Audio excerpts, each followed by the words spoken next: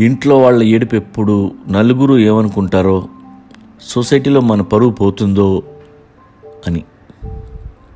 Society అంటే ఎవరు? మహాత్మా గాంధీలు రవీంద్రనాథ్ ఠాగూర్లు అంబేద్కర్లతో నిండిపోయిందా? లేదు కదా. మన చుట్టూ వంద మంది ఉంటే అందులో మంచోళ్ళు ఐదుగురు కూడా ఉండరు. అంటే మిగతా తొంభై ఐదు మంది వేస్ట్ అండ్ యూజ్లెస్. మనకంటే ఎదవలు సొసైటీ నిండా ఇంతమంది ఉన్నప్పుడు వాళ్ళ కోసం నువ్వు బాధపడేది? నీ ఇంట్లో ఏ అనర్థం జరిగినా కంగారు పడాల్సిన పని లేదు. మంచివాళ్ళు ఎప్పుడు అర్థం చేసుకుంటారు. ఈ మిగతా ఎదవలు అర్థం చేసుకుంటే ఏంటి చేసుకోకపోతే ఏంటి? లక్డీ కపూర్ లైఫ్ అన్నాక ఏవేవో జరుగుతుంటాయి. అనర్థం జరగని ఇల్లు ఉండదు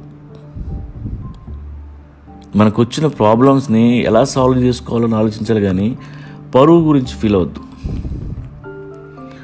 చాలామంది పేరెంట్స్ కొడుకో కూతురో తప్పు చేస్తే ప్రాణాలు పోయినట్టు డ్యాన్స్ ఆడుతుంటారు.